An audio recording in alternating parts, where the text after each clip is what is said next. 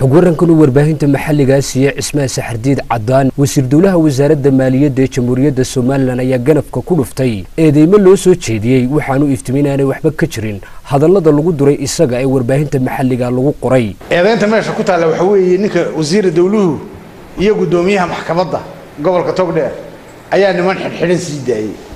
Waxaa la wax sal iyo raado arrintaa ka jira.